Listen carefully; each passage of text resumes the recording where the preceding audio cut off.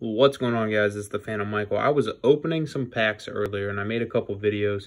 I noticed this spinner rack had some weird stuff on it. And I don't know what it is. And it also has a Ditto on the bottom of it. Now I know Ditto's in the set.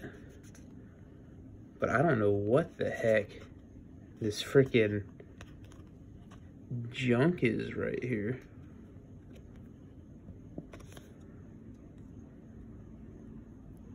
Oh, sh...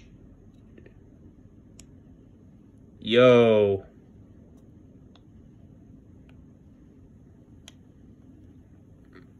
Dude, what the. That is actually gnarly, dude. Oh, man. I almost don't want to rip it off all the way, bro.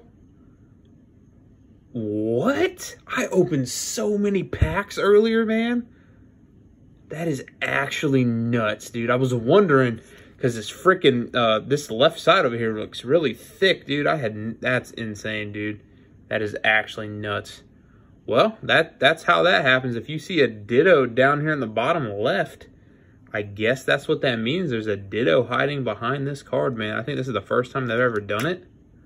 Okay, no, it was just a super miscut. That's what it is. All right, well, that is actually freaking nuts, dude. All right, guys. Well, that that's how you find Ditto, I guess. If you guys enjoyed this, smash that like button. Support is always greatly appreciated.